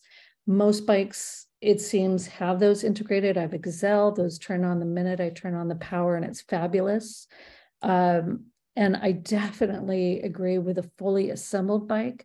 I have a lot of grad students who are highly intelligent and they cannot get their bike assembled because they are coming in so complicated and they'll have to send them back and $250 later they get a um, $250 later they can get a program or their bike back together so mm-hmm. and it's just safe and and reasonable to have that kind of approach to it.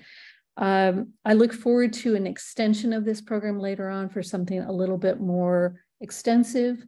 Um, and if you want to look at maybe the cargo bike having some kind of requirement that you that it is proven that those cargo bikes will be used for children and commuting needs um, or reconsider that $750 uh, supplement uh, voucher, that would be excellent. Um, but I really think that this program's ready to go, and I can't wait to see it get off the ground. And I hope that people also look into their area districts or PG&E programs that are also offering additional um, additional rebates or voucher programs. So thank you so much. Yeah, thank you for your comment. All right. Um, next, Jeffrey Bruchet, Bruchez. Uh, yes, thank you all so much. And so fitting to follow Julie. Thank you for the comment. My name is Jeffrey Bruchet, and I am here from UC Davis. Uh, funny to follow a UC with a UC. Um, Julie, thank you for all those awesome comments. I know we talk a lot, so I'm not going to repeat anything that you said, but I share a lot of that same sentiment, and uh, we're doing a lot of those same things here at UC Davis. I do want to talk about the safety of, um, you know, when people go out and use these. I think there's going to be a big issue with battery safety. Um, I think it's important that in whatever education requirements that you do, you do very importantly go over battery safety, um, how to charge, why charging it unattended is so unsafe. Um, uh, I think there's a lot of um, a lot of risk there that we as public entities are trying to mitigate. So please pay attention to that. Um, and the other part about safety is to consider uh, the uh, required specification to also include a speedometer. Um, only class three e-bikes do have a requirement for speedometers, but the quality class one and two bikes should also have that. Um, I say that as a manager of a campus with a 15 mile an hour speed limit in our in our campus core. That's to get everyone around safely. A lot of folks on these e-bikes have no idea that they're going as fast as they may be going. So I think it's important that we consider um, what those required specifications are. I'm glad to see integrated front and rear lights. I agree with an earlier commenter that that makes it viable transportation. Um, but I think like you can't have a car without a speedometer. We shouldn't really have e-bikes without speedometers as well. Um, the other part is just a recommendation for CARB is to think about the impact that this program has to our uh, physical environment. Um, I think we're going to see a lot of these higher quality e-bikes go out. Um, and if we cannot park them places securely, I'm thinking covered bike storage, bike lockers, um, really high quality bike racks. Those are things that the public entities who invite these bicycle bicycles will need to be deploying, and none of that stuff is cheap. So please consider what kind of programming CARB can do to fund some of those parking improvements. If you build it, they will come, but then we leave these bikes outside to be stolen. Um, I do not want to see these bikes get stolen and go through the hands of a the world that is a stolen bike problem. I think registration is important. I highly recommend the bike index system. That's what we adopted here at UC Davis. It's a great universal bike registration system. Um, and then lastly, just thank you. Um, I know this is really hard work and or running uh, such a program for the state is complicated. I'm really excited to see it coming. Um, I think everything I've seen so far seems well thought out. Um, and I'm excited to see the money flow. Thank you all. Great. Thank you, Jeffrey. Yeah, thank you. So we've got 13 more participants um, and roughly 20 minutes left. If um, we usually end them when we say we're going to end them on the notice. Um, so if we don't get to you, please submit comments uh, to our emails. Um, with that, though, I'll go to Piet Canin. Hi, um, this is Piet Canin from Ecology Action. I want to thank um, CARB and CARB staff and everybody in this call too for this program and for giving input and developing the program because um, I think it is a great way to increase sustainable transportation, especially people that need it the most. So I'll try and not repeat what's been said already, but there's been so many good things that have been said, um, and I do want to second some of them. But in in terms of like my focus is like safety. So starting with education. So maybe there's a way to um, reduce the barrier of having um, folks, you know, go to a safety training um, that's not too long by having, like was suggested by the CARB staff in your data collection, maybe by having an extra incentive for additional education. You know, there's a lot of new newbies coming to to the electric bikes, and like people said, you know, biking on 28 miles per hour fast, um, class three bikes. So maybe there's some mechanism figuring that out. Um, but I do think that safety education is, is crucial to build both um, safe and competent and responsible e-bike users and people that are going to be on their bikes for, you know, hopefully for the rest of their lives.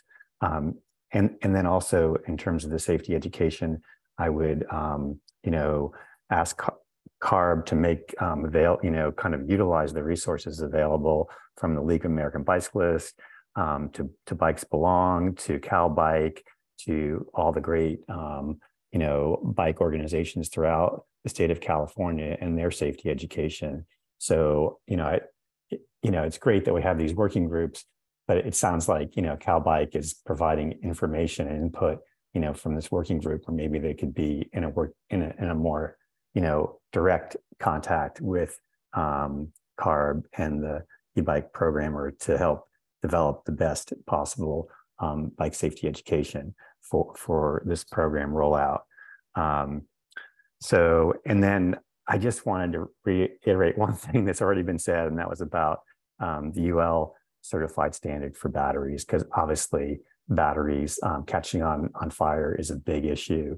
So I I just hope that CARB has a, a way of filtering out, you know, low quality um, bicycles, electric bikes that have been, you know, at the center of some of these issues and making sure that they, yeah, that they're not mismatched and, and charged correctly, because um, that's that's a big key to, um, you know, um, making sure the program runs successfully.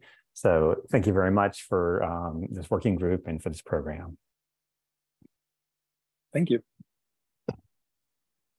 All right, next is Kyler Blodgett.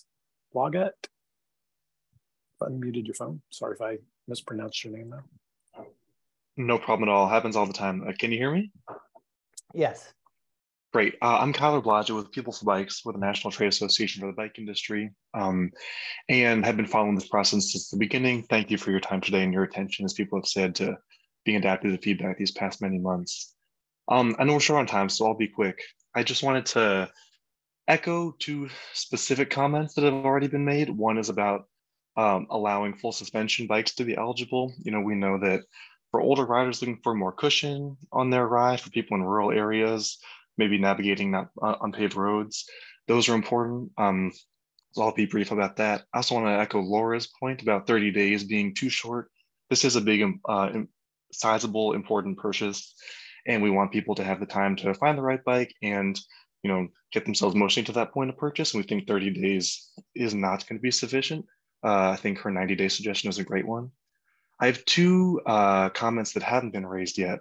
One is that I think the slides had that uh, you had to be 18 to take advantage of this purchase incentive. We would encourage you lowering that to 16, you know, which is fine with uh, with California state laws around who can ride an e-bike and what age. It's also what states like Connecticut and Vermont are doing in their programs that are already implemented. Several states during the bill process this spring. Washington, Oregon, and Hawaii are also lowering that age to 16 for who can be um, a participant in the program. We really think, really think if you're going to replace cars with e-bikes, you it's a powerful moment to do it at the point where someone's often beginning to drive or beginning to think about how they want to get around. And we know that obviously that's the driving age of 16. So we think that lowering and waiting two years until they're 18, some people will already be taken automobile culture, as we know. So I think that could be a powerful uh, decision moment if we lower the age. The last thing, you know, we're talking about UL safety standards a lot, and I obviously agree that we need to make sure that low quality, unsafe battery um, packs are not allowed in this program. But we also believe that people for bikes that there other safe standards besides UL, you know, EN 15194 is a great one. And we think that general language around being certified to an appropriate safety standard by an accredited lab gives more flexibility than saying it has to be UL. Um, so, and I'm happy to talk more about that offline if you want, um, but I want to make sure everyone else gets the chance to talk. So I'll pause it there. Thank you. Great, thank you. Um, next up, Andrea Harpool.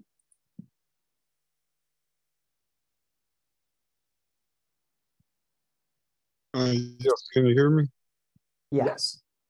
And this her husband, you know, we're both um, uh, senior citizens and we're disabled, and um, we both fall under the 30 um, the 30% uh, federal line, you know, as far as income. And um, we know that we sent in some um, applications and we piggybacking off someone earlier that talked about the application process. And our um, one of the applications we filled out was for um, e-bike program that you ride the bike for two years or something and then the bike would be given to you for free if you put so much mileage on it. And um, we've sent in the application. We just want to know exactly if someone going to get in contact us with an application or do we have to uh, follow up ourselves? Yeah, and um, I had a similar question to my email. I'm not sure if that was you or not, but um, I would, I think we should definitely connect um, after this uh, work group and I can help identify what program that um, your that first application was to. Um, and then for this program, which is going to launch later this year, it would need to be a new application. Um, so, but I can, we can help you um, identify those resources and and what you'll need to fill out that application. Um, but okay, certainly, we appreciate Sorry, what was that?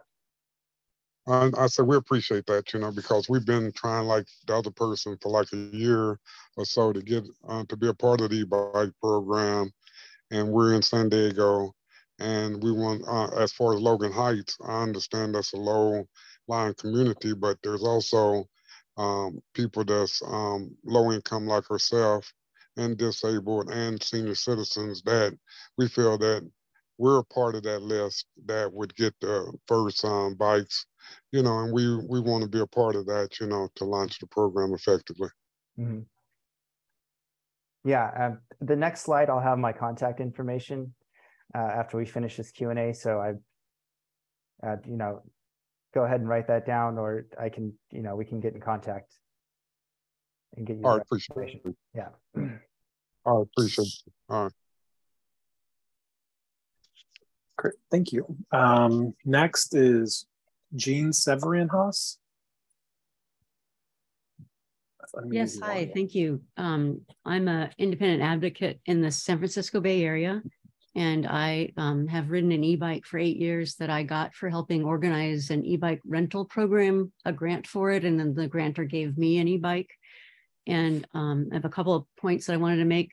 The first is that um, I really highly support keeping a rack as part of things you can fund because in my experience, it's not trivial to add a rack. I've often added had a bike and I go down to my local bike recyclery and it's almost impossible to match a rack and a bike without um, jumping through a lot of hoops. So I, I ask that you please keep the bikes useful for transportation by allowing racks.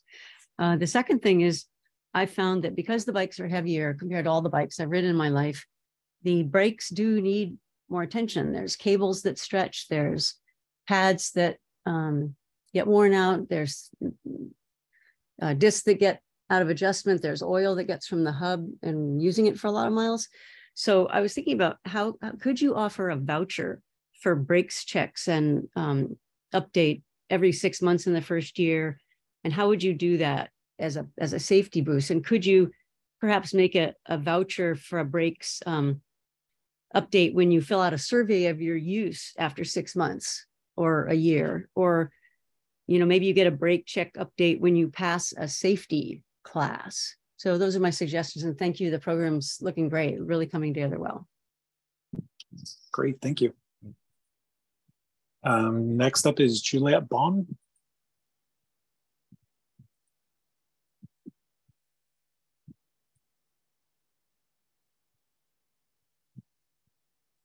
Juliet, you'd have to unmute your um, your computer. Gotcha. Sorry about that. Um, That's okay. Get on Redwood Coast Energy Authority. Going to jump right on in. Do appreciate your program. We have we are also uh, developing a program in tangent with yours. Um, we did have a 2020 program uh, that was fully subscribed very quickly. Um, and I guess, you know, in redoing this program, we went around and spoke to a lot of all of the bike shops, all of the mechanics. And I wanted to um, provide some support for some of the elements you have uh, that you know have had some amount of disagreement on this call. Uh, you know, the pre-assembled or professionally assembled.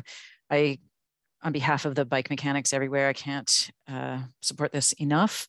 Uh, there, while there are some people out there who could assemble their bikes, uh, there, you know, it's going to be a challenge for many. Um, for reasons of having tiny precision parts with specialty tools that can be damaged if not, uh, you know, if not the tools are not properly used.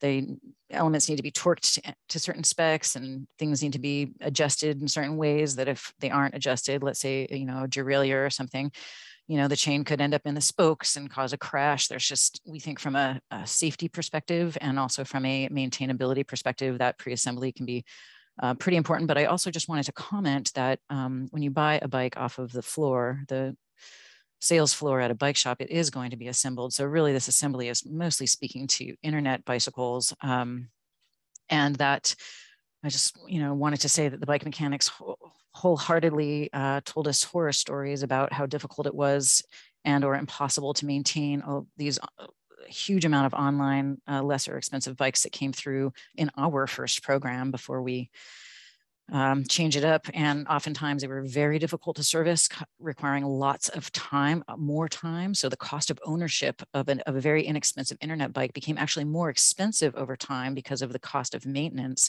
that took extra long because oftentimes parts were not available. Um, these companies aren't providing, a lot of them do not provide adequate support for the shop. So a mechanic calls and says, hey, this thing is broken, you know, how do I diagnose or fix it? They aren't able to get through or get callbacks and or the parts aren't available. Some of them came with non-standard wheels. So an inner tube replacement was very difficult. So I just really want to encourage um, and support the uh, brick and mortar shop sales and um, having professional assembly if you're going to allow internet bikes. We also strongly support the UL listing, not only on the batteries, but chargers and the drivetrains. It's become very clear that the runaway fires have a lot to do with these uh, non UL listed or equivalent listing um, safety standards for the batteries. So we think that's a, a really good element to your program. Um, and Just checking my list. Oh, I wanted to give you a suggestion about the education. One of the things we have put into our agreement with the participating bike shops is that they provide the safety training, including proper charging techniques as part of their agreement to be a, you know, a participating bike shop. And this is something that a lot of them already do. So it's not really um, a huge ask, but I think that would sort of address a lot of people's questions of where is this education coming from? And is it going to cost extra time and money? Um, I think that would be a great thing to put right on those bike shops who are going to get a lot more business as a result of your program. We also suggest uh, potential for requiring them to provide a six month break in tune up since cable stretch and so on and so forth, bike pads, things that need to be adjusted. Uh, the reason that we think this is important, at least in our program, is we, to, in order to maximize the reduction in vehicle miles traveled, uh, these bikes need to last. And so if, it, if people aren't, you know, first of all, if you're not buying a quality enough bike that can be easily maintained and or if you don't know and or don't want to bring it in for maintenance you're going to have a bike that's going to perform terribly until people decide to stop riding them and that's not going to achieve our vmt reductions over the long term um, and I think that, uh, I just want to see if I had any more quick comments. Oh,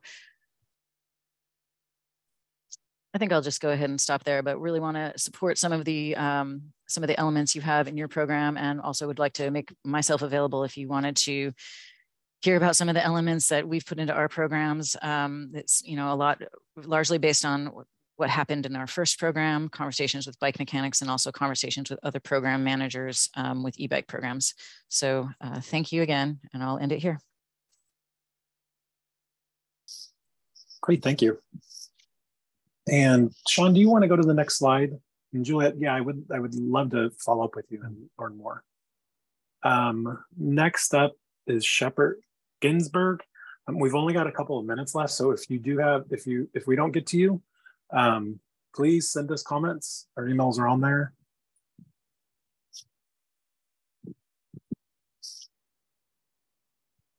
All right, Shepard, I've unmuted your phone, computer.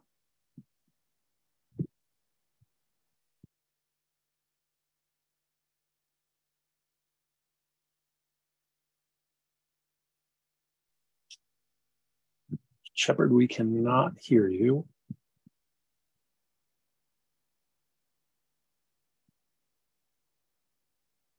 All right. Let's go to Perry and then we'll come back to Shepard. Perry Warner.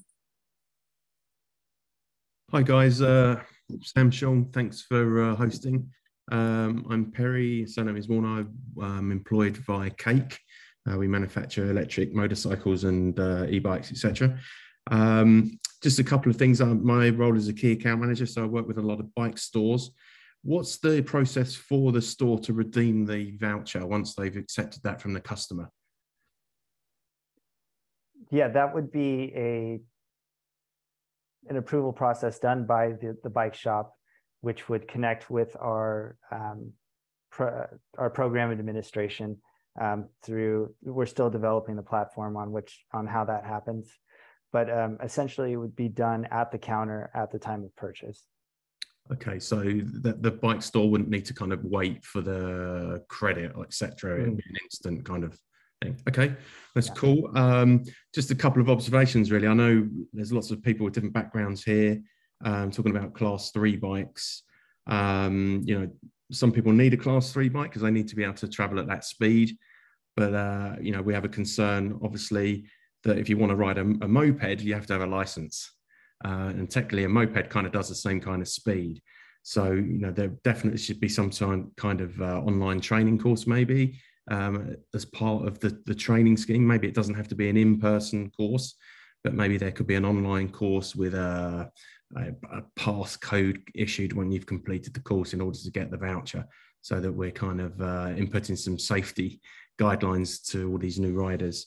Um, and then the other thing you know, I know a lot of the auto programs, you're required to be an authorized vendor in terms of, you know, your car has to meet certain criteria to be part of that um, program and rebate. You know, would would it not be a good idea to have the bikes in a similar category so that we know that the end users are getting a quality item? Um, and that would potentially overcome some of these issues that have been addressed in terms of irregular parts or a lack of spare parts. Um, just thinking, you know, we we have our own workshop. We get, uh, you know, service a lot of bikes ourselves, uh, and I know we have to have special tools to service a lot of these bikes. But you know, it becomes you know super important that they're kept roadworthy, particularly when they're capable of nearly 30 miles an hour. Uh, but it's an awesome program. Looking forward to seeing it launch. So uh, appreciate all your efforts. Thank you. Great, thank you. Um, we'll have enough time for one more short comment. I'll throw it back to Shepard to see if you can unmute yourself. Or if you want to unmute yourself. It looks like you've unmuted yourself, but we can't hear anything.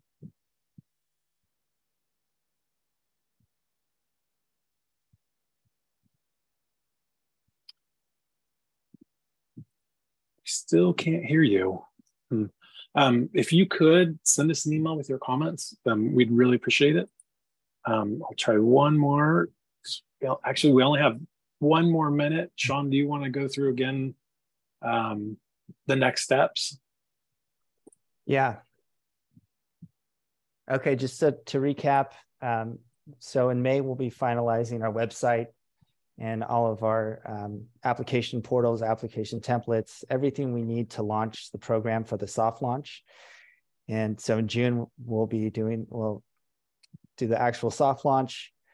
Um, and then after our lessons learned and after we've adjusted, made any adjustments, we'll have the statewide launch in uh, Q3 of 2023.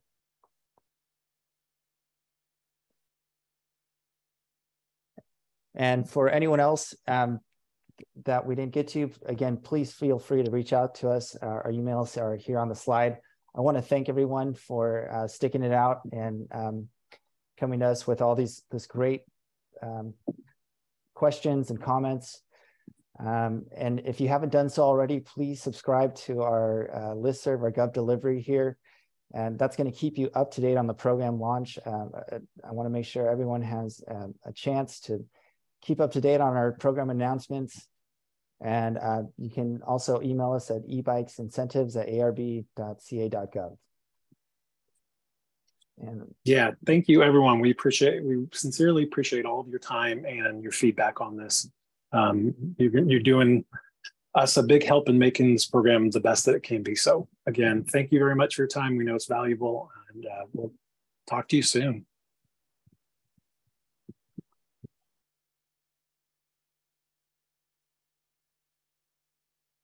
And thank you to our interpreters. We really appreciate it.